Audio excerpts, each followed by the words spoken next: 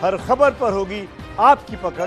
Download कीजिए ABP live app corona के संक्रमण के फैलाव को रोकने के लिए ज़रूरी है कि लोग घरों में रहें। कई लोगों ने खुद को पिछले दिनों में एकांत में रखा है। इस आशंका में कि हो सकता है संक्रमण उन तक पहुँचा हो और उनसे संक्रमण आगे ना फैले, इसलिए उन्होंने खुद को एकांत में रखा, क्वारंटीन किया। और ऐसे ही लोगों में से एक हैं आम आदमी पार्टी के राज्यसभा सांसद संजय सिंह। संजय सिंह से जानते हैं कि कैसे इन्होंने खुद को एकांत में रखा और एकांत में रहने का अनुभव क्या था। लोगों से ये क्या कहना चाहते हैं? संजय जी, आप आंदोलन से जुड़े रहे हैं और जब आपने ट्वीट किया कि मैं एकांत में रख रहा हूँ, लोगों को आपके दोस्तों ने ही ये पूछना शुरू किया कि आप खुद को एकांत में रख कैसे पाएँगे? आप तो पूरे दिन बाहर रहने वाले लोग हैं। तो कैसे आपने चौदह दिन खुद को एकांत में रखा? क्या एक्सपीरियंस रहा आपका? और आप लोगों को क्या कहना चाहते हैं? क्योंकि ये बड़ा ज़रूरी है कि लोग घर में रहें। देखिए मैं समझता हूँ कि जब से मैं समझदार हुआ हूँ, तब से लेके आज तक पहली बार ऐसा हुआ कि चौदह दिन तक मैं अपने गेट के बाहर नहीं निकला। प्रतिदिन सैकड़ों लोगों से मिलता था, जैसा आप कह रहे हैं, बिल्कुल सही है।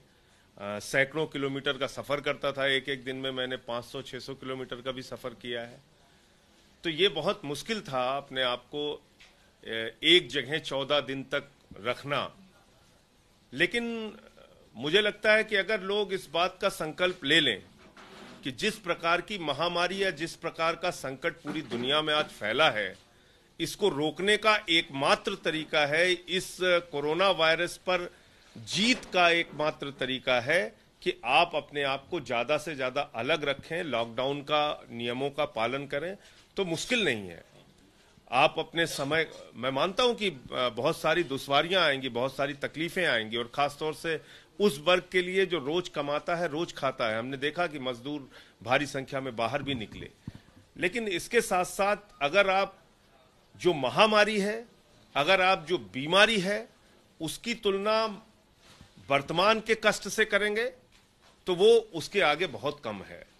आज अमेरिका जैसा विकसित देश जहाँ पर ढाई लाख से ज़्यादा लोगों को ये बीमारी पहुँच चुकी है, आज पूरी दुनिया की अगर हम बात करें तो लगभग सवा ग्यारह लाख लोगों तक ये बीमारी पहुँच चुकी है। साठ हज़ार लोगों ने अपनी जान गंवाई है। तो अगर हिंदुस्तान के अंदर ये महामारी 135 करोड़ के देश में फैलती है तो इसके बहुत गंभीर परिणाम हम सबको भुगतने पड़ सकते हैं। तो तात्कालिक तौर पर निश्चित रूप से कष्ट पहुँच रहा है लोगों को दिक्कतें आ रही हैं लेकिन हमको लॉकडाउन का पालन करना ही होगा। इसके अलावा कोई दूसरा रास्ता हमारे पास नहीं है। चौदह दिन का एकांतवास पूरा हुआ तो क्या एक्सपीरियंस रहा आपका?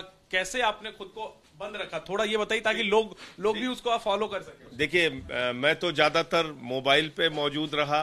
और लोगों के फ़ोन भी आते थे तो उनकी जो मदद कर पाता था, फ़ोन के ज़रिए ही दूसरों को कह के उनकी मदद भी करवाता था।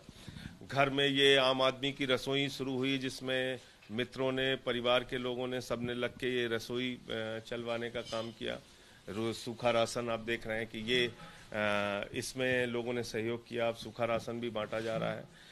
प्रयास ये रहता था कि ज़्यादा से ज़्यादा न्यूज़ मैं देखने की कोशिश करता था उसमें अपने आप को इंगेज रखता था कि पूरी दुनिया में इस वक्त कोरोना संकट से निपटने के लिए चल क्या रहा है।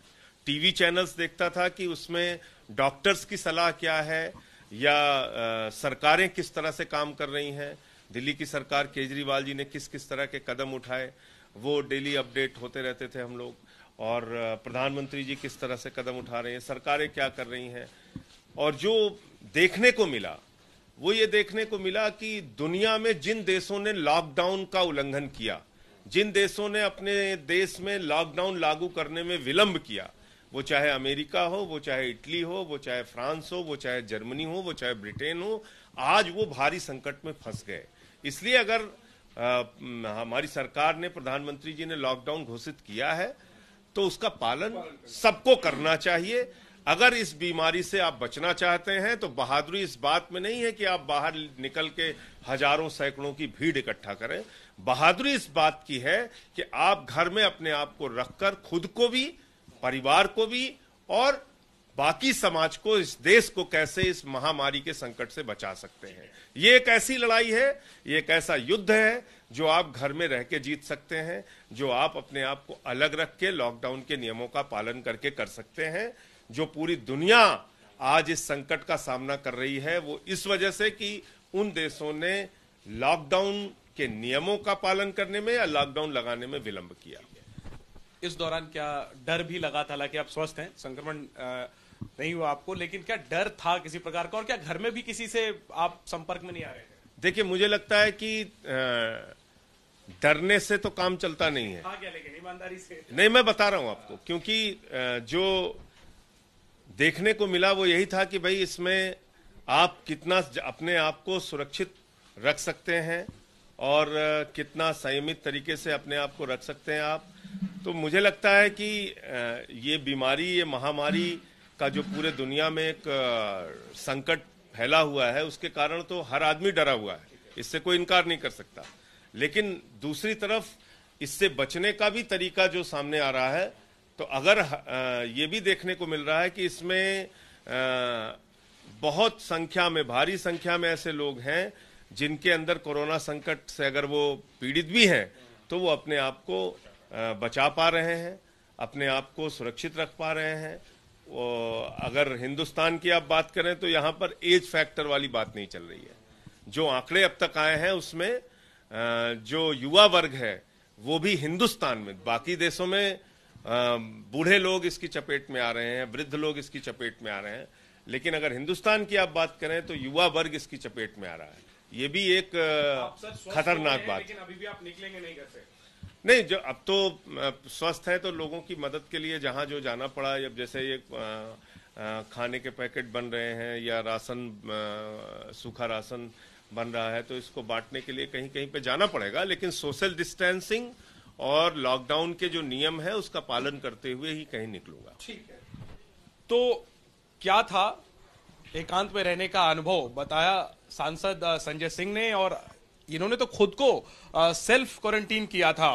और बता रहे हैं कि किस तरीके से पालन किया सोशल डिस्टेंसिंग का और यह एहतियात ज़रूरी है अपील भी की है लोगों से कि ये लड़ाई हम घर में रहकर ही जीत सकते हैं। अहम बात यह है कि अब संजय सिंह का एकांतवास जो है वो क्वारंटीन पीरियड खत्म हो चुका है, स्वस्थ हैं और साथ ही साथ अब इनके घर में ही एक तरीके से रिलीफ कैंप एक तरीके से इनका घर बन गया है। कच्चा अनाज, चावल, दाल, आटा नमक, तेल आदि पैक किया जा रहा है और इसके अलावा पका हुआ खाना भी पैक करके आसपास के जो मजदूर तबके हैं जिनके पास खाना नहीं है उन तक पहुँचाने की ये कोशिश चल रही है। तो ज़रूरी है कि आप घरों में रहें और साथ ही साथ मदद करें उन लोगों की जिनके पास भोजन नहीं है। कैमरामैन सुंदर के साथ जैनेन्द्र एबीपी न्यूज़ दिल्ली। हर सुबह कीजिए दिन की परफेक्ट शुरुआत खबरों के साथ। क्योंकि यहाँ है खबरें काम की। और कहानियाँ कमाल की। देखिए नमस्ते भारत सुबह छह बजे से दस बजे तक एबीपी न्यूज़ पर।